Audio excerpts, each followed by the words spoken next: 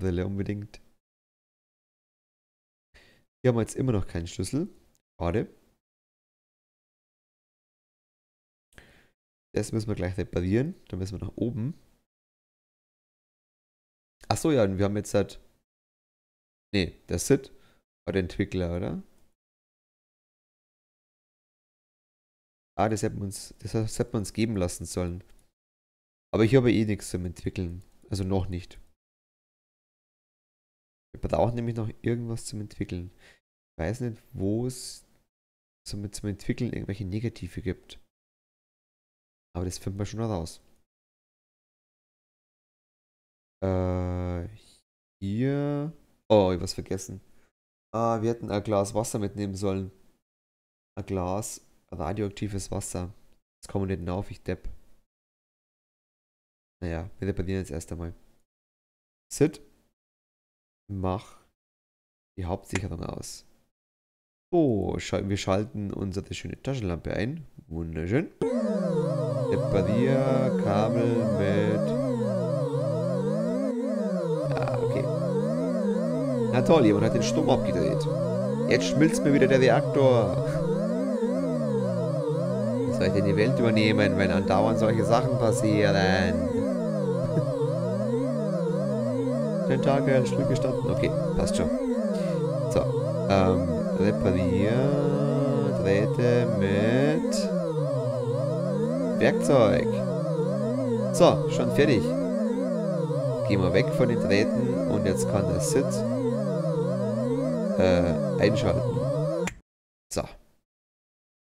Gut. Okay. Klappt wieder. Hier brauchen wir noch das radioaktive Wasser. So, ähm, der Viertel Dollar, der mit den... Moment, da haben wir auch noch irgendwas, oder? Ja, ja, stimmt, Telefonnummer. Den Viertel Dollar müssen wir auch noch holen. Aber hier haben wir ja noch den Wasserhahn. Benutz. Ähm, wo ist er? Wo ist er? Hä? Da. Benutzt Wasserhahngriff mit Wasserhahn. Schalt ein. Wasserhahn. Schalt aus. 1547 ist die Ätna erreichbar. 1547. Ähm, nutzt es jetzt was? Wir brauchen erst den Code für den Save. Der Code für den Save bekommen wir erst mit diesem Teleskop.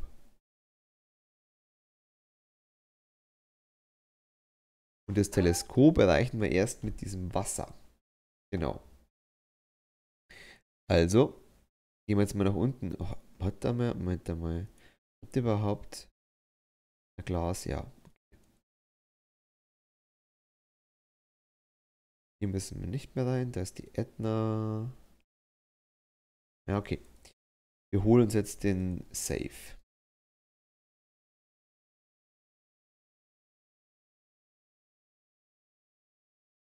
So.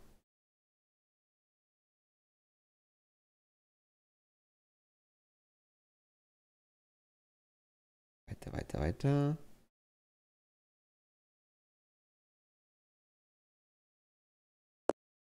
Dann gehen wir dahinter durch die Küche durch.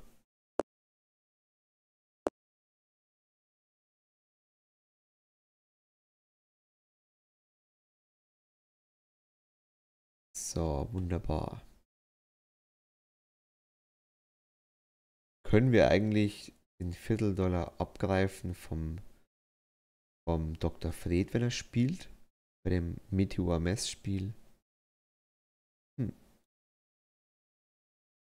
Der Idee wert. So, Glas Wasser haben wir jetzt dabei. Gut.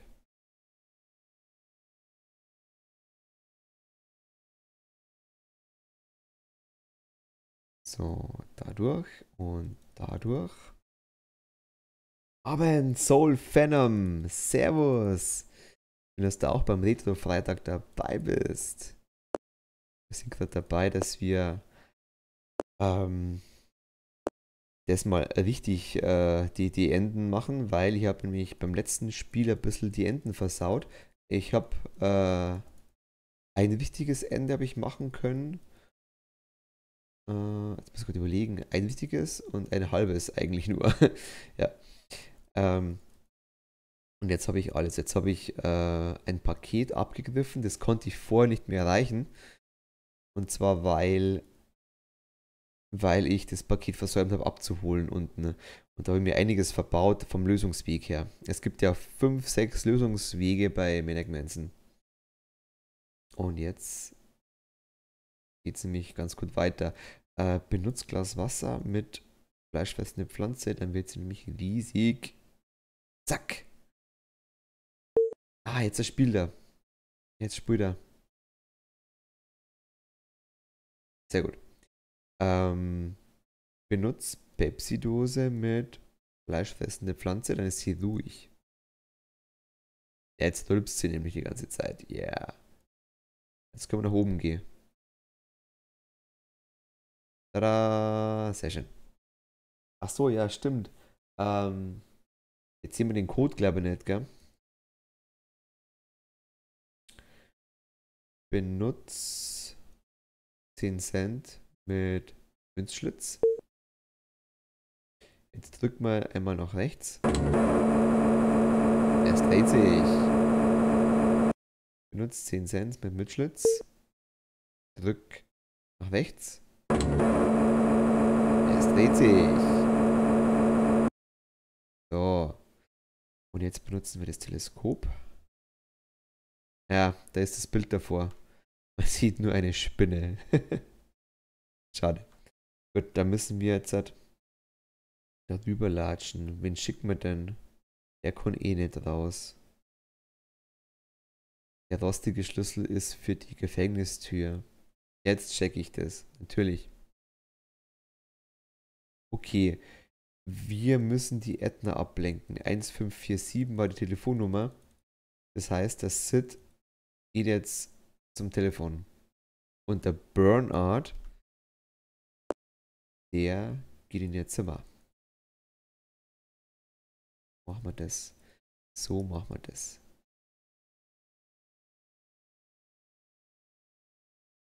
So. Äh, Burnout, du gehst jetzt mal runter. Du kannst gern das nächste Mal gucken und ein bisschen rumspannen. So, benutzt Telefon. Ich höre dein Amt. 1, 5, 4, 7. Klingeling.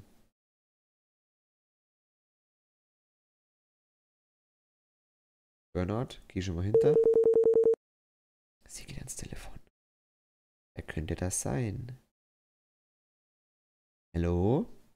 Wer ist da? Ist das ein obszöner Anruf? Hört sich nicht wie einer an. Ich vermisse das Gestöhne. Hören Sie, ich zeige Ihnen, wie das geht. Oh. I. Okay, öffne Tür. Und drei. Sie mich abgelenkt. Schnell, schnell. So.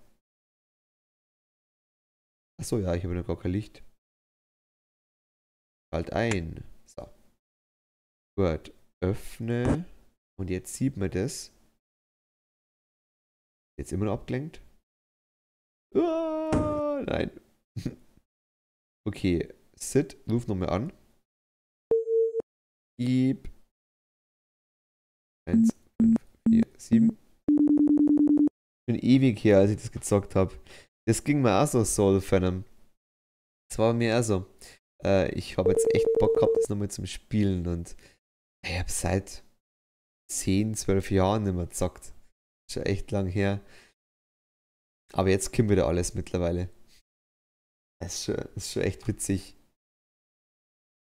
Die Sounds sind ein bisschen verstörend. Man ist einiges Besseres gewöhnt, sag ich jetzt mal. so, wir sind draußen. Äh, wir müssen jetzt hier rüberlatschen zum Teleskop und können jetzt den Code lesen vom Safe. Rülps, genau, Rülps. so. Und jetzt 1029. 1029, das müssen wir uns merken. Dann gehen wir jetzt wieder nach drüben. Und lassen ihn wieder anrufen. 1029 war es. 1029. Das ist die Telefonnummer von der Edna. 1029. So, jetzt geht sie hin. Hallo, sind das wieder Sie? 1029. Okay. So. Hier öffne Safe. 1029. Ha! Versiegelter Umschlag. Dave, ruf nochmal an. Piep. 1, 5, 4, 7. Und der Bernhard ruhig runtergehen. Lingeling. Na, geh ins Telefon. Hallo, sind das wieder Sie? Okay, nix wie weg. Das war das letzte Mal, dass wir in Ihrem Zimmer waren. Das ist echt creepy hier. Tschüss. So, ähm, der Umschlag. Jetzt müssen wir nach unten gehen. Und den Umschlag aufmachen in der Mikrowelle. Und jetzt haben wir endlich wieder diesen Umschlag und jetzt können wir können wir den Umschlag auch abschicken. Jetzt haben wir endlich die Briefmarken. Voll geil. Mindestens zehn Jahre her. Mindestens, ja, bei mir. Achso, hat er mal. Genau. Ähm, der Viertel Dollar ist doch im Umschlag, gell? Ja, können wir aber bloß so aufbekommen. So, benutz. Siegel der Umschlag mit Mikrowelle. Die Tür ist zu. Ja, okay, das könnt ihr selbst aufmachen. Benutzt versiegelter Umschlag mit Mikrowelle. Und wir brauchen etwas Wasser. Benutz Glas mit Wasserhahn. Ja, schalt ein. So. Ich habe jetzt mal eben das mit Wasser befüllt mit Mikrowelle. So, das muss man eigentlich gar nicht machen, glaube ich. Egal. Schließ Mikrowelle, schalt ein Mikrowelle. Okay, schalt aus. Öffne Mikrowelle. Offener Umschlag. So, was haben wir jetzt da gleich wieder? Äh, Lies Umschlag. Ach so, der ist es nur der Umschlag, da ist gar nichts drin. Okay. Dann können wir jetzt halt benutz Umschlag mit. Ach nee, die hat der andere wahrscheinlich. Ähm. Sit, Euler. Du hast doch hier Demo-Kassette. Genau. Demo-Kassette. Du gibst jetzt mal gleich ein Bernard. Bernard. Genauso wie dort. Witzig. Äh, Phantom. Ich habe letztens Day After the Tackle hier gespielt. Am Retro-Freitag haben wir es durchgespielt. Und zwar die überarbeitete Version, die neue Steam-Version. Die ist echt geil. Ähm, machen wir es umgekehrt. Burnout, gib, gib den Umschlag in Sit. Sit, benutze Demo-Kassette mit Umschlag. Was? Willst du jetzt verarschen? Der ist zu. Nicht noch einmal. Hä? Ist jetzt zugeklebt oder was?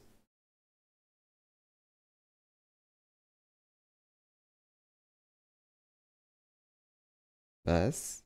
Öffne Umschlag. Da war ein Viertel Dollar drin. Also doch so. Benutz Umschlag mit Demokassette. Jetzt geht's.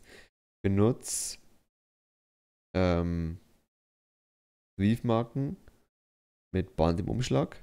Sie kleben. Ha. Und jetzt schließ. Band frankierter Umschlag. Ja, ist schon zu wahrscheinlich. Okay, cool. Ähm, den Viertel Dollar gibst du mal gleich mal am Bernard. Genauso wie den Schwamm mit dem Entwickler. Den Rest brauchen wir nicht. Ed, was ist los, mein Freund? Hey Ed, der Meteor will sich mal deinen Hamster und den Elektroschlagstock ausleihen. Meinen Hamster? Niemals! Pass lieber auf, Ed. Der Meteor mag das überhaupt nicht. Er denkt schon, du hättest meine lila Schlüsselkarte geklaut. Äh, ich weiß nicht, wovon du redest. Ohne Karte komme ich nicht zum Meteor. Oh, wirklich? Benimm dich, Sohn. okay, Sid, ähm, du hast jetzt das Band dabei, den Rest, Rest ist wurscht. Gut, wir gehen jetzt mal draußen und schicken das ab. Das geht ja jetzt endlich. Ja, das waren alle noch gute Adventure Games, auf jeden Fall, auf jeden Fall. Die waren richtig geil. Das hat richtig Spaß gemacht. Macht auch immer noch Spaß. Oh, wir haben die, ah, die Adresse vergessen. Die Adresse habe ich vergessen. Okay. Das heißt, ich muss das wieder alles aufmachen. Nee, ich glaube nicht. Das geht so. Ähm, stimmt, da muss ich nochmal nach oben gehen und die Adresse drauf machen. Stimmt. Frage ist, geht das, geht das mit dem Sit? Weil der Sit hat ja eigentlich die Werbung nicht gesehen. Hm, wir werden es gleich herausfinden. Also einiges wusste er, also zum Beispiel der Ed, der war nicht auf den Sid sauer, obwohl er der Ed ja nur mit dem Burnout Frieden geschlossen hat. Na, wir sehen das gleich. Benutz Band mit Schreibmaschine. Ich weiß nicht, was ich tippen soll. Du verarscht mich doch, oder? Okay. Dann runter zum Fernseher. Zu diesem, ähm, wo war das? Beim Musikzimmer war das. Beim Musikzimmer, genau. Oh, jetzt kommt wieder Zwischensequenz. Edna, ich habe Ärger mit dem Zombie Matt. Ich muss mal den Strom abdrehen. Es dauert nur 5 oder 6 Minuten. Ist das alles, was du zu sagen hast? Du warst unten im Keller seit über 5 Jahren. Manchmal glaube ich, du liebst den Meteor mehr als mich. Beruhige dich, mein Schnuckiputz. Bald wird alles wieder gut. Sicher. Hoffentlich lauft er uns jetzt nicht den Weg. Ich hoffe mal echt nicht. Okay, anscheinend nicht. Nö. Gut. Ähm, benutzt. Mein Gott, bin ich bescheuert. Oh. Jetzt gerade nach oben gegangen. Warum auch immer. Ich wollte gerade nach unten gehen. Waren halt äh, Brocken schwer zur damaligen Zeit, auf jeden Fall, weil es, es gibt da echt null Tipps. Also bei Maniac Manson, da gibt es ja zum Beispiel echt null Tipps. Aber es gab damals ja bloß dieses eine, also diese wenigen Games gab es damals ja bloß. Ich muss mal eben hier mit Meteor Mess spielen, wenn ich schon mal hier bin. Äh, benutz. Achso, der hört ja den gar nicht mehr. Ach, stimmt, okay. Es gab ja bloß dieses eine Spiel und das hat halt, das war halt wirklich sehr herausragend. Und das hat man eben mal eben so durchgespielt, sondern das, das war wirklich was für längere Zeit. Deswegen hat man sich auch die Zeit genommen, das einfach so zum Lösen. Das fand ich eigentlich ziemlich geil. So, jetzt siehst du das auch, wo das hingeht. Hallo alle Autoren, Musiker und Spieleprogrammierer. Bla bla bla jetzt Escape gedrückt. Weil wir kennen diese Sequenz bereits. Die haben wir schon mit dem Burnout angeschaut.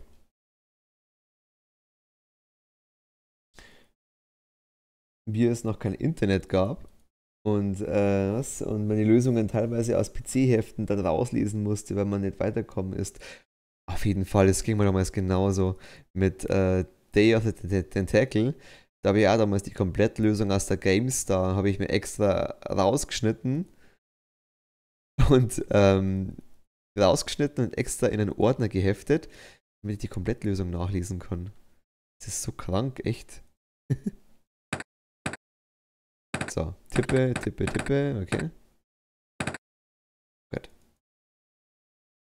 Weil es gab damals halt nur echt kein Internet und du konntest es nicht nachlesen, ja? Wo denn auch? Du konntest es nur in diesen Dings nachlesen.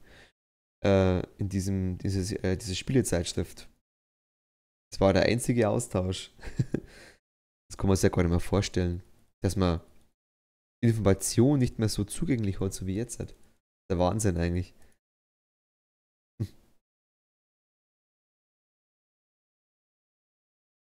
So, ich gehe jetzt nach draußen und schicke jetzt das Band ab in dem Umschlag. Das wurde jetzt auch schön, wunderschön beschriftet. Ah, ist das Spiel da. Das ist gut. Dann haben wir gleich den Key, äh, den, den Code. Benutzband mit Briefkasten. Dann schließ Briefkasten. Und jetzt zieh die, den Zeiger nach oben, das ist wichtig. Und jetzt passiert nichts. Ich weiß nämlich jetzt überhaupt nicht, wie es weitergeht. Das das ist das höchste der Gefühle, was ich zusammenbekommen habe. Damals. Mehr habe ich nicht geschafft. Ich weiß gar nicht, wie es weitergeht. Weil, ähm, ich glaube, meine Version, die ich damals hatte, die damals in Day of the Tentacle drin war, die war buggy. Da gab es nämlich diese Lösungsmöglichkeiten nicht. Und jetzt dürfte es ja gehen. Bei solcher Standalone-Version. So, ähm, Bernard, du, was hast du gehabt? Ähm, der Schwamm mit Entwickler, der ist nicht so wichtig. Ähm, stimmt, du musst nach oben zum Automaten. Ne?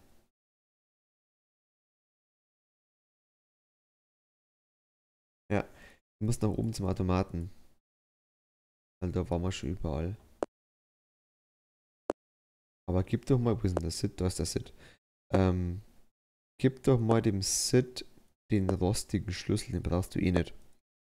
das ist nämlich der Gefängnisschlüssel. Ö? Ach so. Das ist das, was er gesagt hat. Moment. Sid, hau mal hier ab.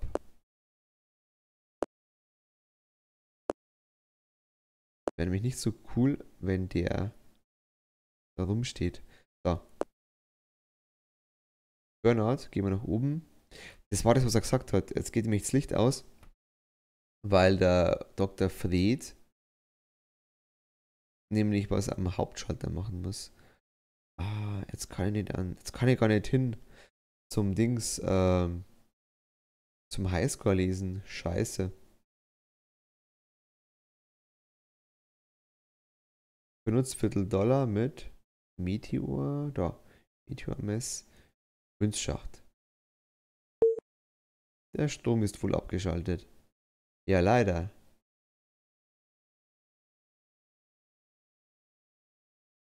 Ach so, jetzt ist der, der Viertel Dollar ist wieder drin. Äh, benutz kleiner Schlüssel mit Münzschacht. Da ist er. Nimm Viertel Dollar. Äh, jetzt müssen wir warten, bis der Strom wieder angeht. Und dann können wir nämlich hier äh, weitermachen, weil... Hä? Das Spiel ist doch an. der Bildschirm, der ist weiß. Der ist nur weiß, wenn der, wenn der Dings an ist. Wenn Meteor Mess an ist. Das ist ja witzig. Die anderen sind nämlich schwarz. Hm. Komisch. Okay, ähm, da müssen wir jetzt mal kurz warten, bis der Strom an ist und dann können wir das hier auslesen. Ähm, den Rest, wir könnten Wir könnten raufgehen zum äh, zum Grüntentakel und dem sagen, dass wir das abgeschickt haben. Das könnte man schnell machen. Ähm, übrigens, ich habe gerade gesehen, Langley, vielen Dank für den Host, Dankeschön. Ich habe schon die ganze Zeit auf die Benachrichtigung gewartet von Streamlabs, aber die kommt anscheinend nicht. Da spinnt schon wieder irgendwas bei Streamlabs. Vielen, äh, vielen, vielen, vielen Dank für den Host. Freut mich sehr. Und herzlich willkommen an alle, die vom Langley kommen. Ich dachte mir jetzt die ganze Zeit schon, ja, wann kommt's denn? Wann kommt's denn? Dann sind schon gewartet. Ich habe immer noch die Hoffnung, dass was kommt, aber na, mal schauen. Entweder es kommt später oder es kommt gar nicht.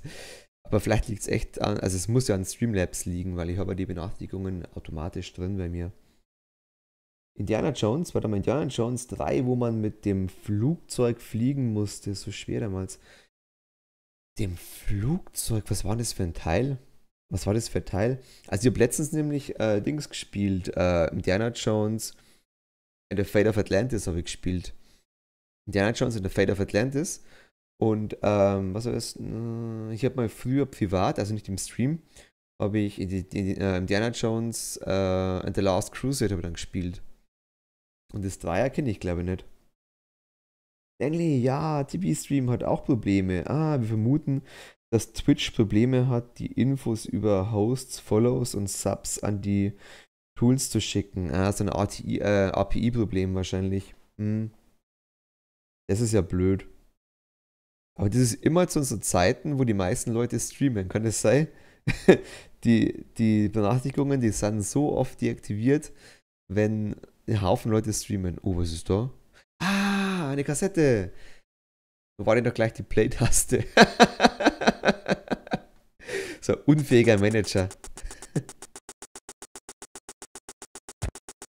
cool. Wunderbar. Irrsinnig. Fantastisch. Das ist die Manic Manson Melodie. Das wird ein Mega-Hit. Für die brauche ich sofort einen Vertrag. Cool, er schickt uns einen Vertrag, wie geil. Ähm, die Frage ist, können wir jetzt schon rausgehen und den Vertrag holen? Hm. hm ich gehe jetzt mal nach hinten zur Tür und gehe jetzt einfach noch ganz nach links. Ich glaube, ich bin ganz unten jetzt mit dem Sit. Hier ist es nämlich hell. Ich schaue zum Briefkasten. Ich will, ich will es wissen. Öffne. Ah, schade. Okay, dann dauert es noch. Mm, okay, dann warten wir hier. Ähm, der Burnout ist noch hier. Unten im Verlies können wir jetzt gerade eh nichts machen. Okay, dann schauen wir hier im Burnout zu. Und ich lese mal eben hier nochmal im Chat nach, was geschrieben wurde ähm, das Adventure Game Indie 3, das vor, das vor Fate of Atlantis. Ich überlege jetzt gerade, ich kenne das glaube ich nicht. Ich glaube, ich kenne es nicht. Ich kenne ich kenne das danach gekommen ist, aber das war dann schon so 3D-mäßig. Das war schon zur Ära von Tomb Raider.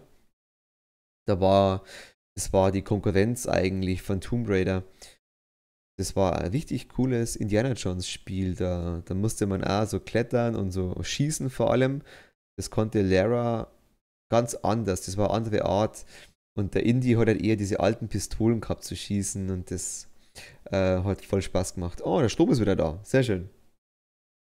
Ja, voll nervig. Ich hatte den Resub ohne Alert und diverse Follows ebenfalls ohne Alerts. Aber vorher ging's. Also, das ging bis gerade eben noch bis gerade eben gingen die Alerts noch, weil ähm, ich hatte, ich hatte vorhin ähm, hatte ich einen Follow-Alert, also zweimal heute Follow-Alert und das war kurz, vielleicht vor Stunde oder so. Stunde, vor Stunde ging es noch, glaube ich. Und das ist echt schade, dass das nicht geht. Äh, benutze na, Viertel Dollar mit Münzschacht. Piep. Jetzt hier mal einen kleinen Code, jetzt muss ich ganz kurz aufpassen. Äh, vielleicht ist auch dasselbe wie letztens. Schauen wir mal. Ah, 5858, okay. Ist dasselbe Code wie letztens. Ah. 5858, damit wir ähm, in diese Geheimtür reinkommen. Passt. Dann haben wir jetzt den Code auch. Ja, das war wie der Film Indie 3 war mit der Bibliothek in Venedig. Ah, okay. Dann war das auch so ein Retro-Game, oder? So ein Retro-Game wie bei Fate of Atlantis. Oder war das schon ja, so ein paar Jahre später sozusagen. Äh, ich meine, es war ja vor Fate of Atlantis, hast du gesagt. Genau. Ähm, dann war es ja also wie Fate of Atlantis von der Art her. Also genau das hier, was wir jetzt gerade spielen. Genau so. so richtig schön pixelig. Aber muss ich mal schauen, ich kenne das gar nicht. Das würde ich ganz gern spielen, wenn Retro Freitag. Weil jetzt haben wir, jetzt sind wir eigentlich am Ende vom Retro Freitag. Ich habe schon wieder eine halbe Stunde überzogen. Wie immer eigentlich. ähm, also wir haben jetzt hier noch mal äh, Manic Manson. Das würde ich noch gern, ganz gerne fertig spielen das nächste Mal. Und dann wäre sowieso der Weg frei für ein neues Retro-Game.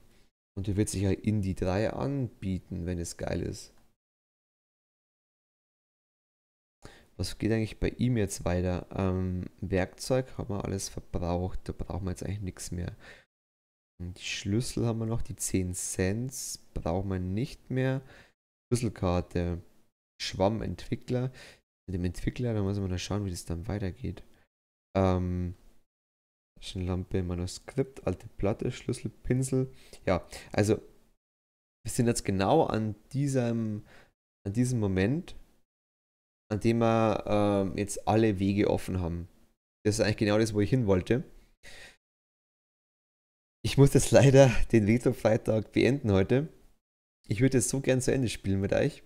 Aber ich weiß ganz genau, ich spiele bestimmt nur eine Stunde hin, wenn ich jetzt alles durchprobiere, die ganzen Enden. Aber das Coole ist, wir haben jetzt alle Enden offen und wir spielen dann genau in einer Woche weiter mit Retro Freitag.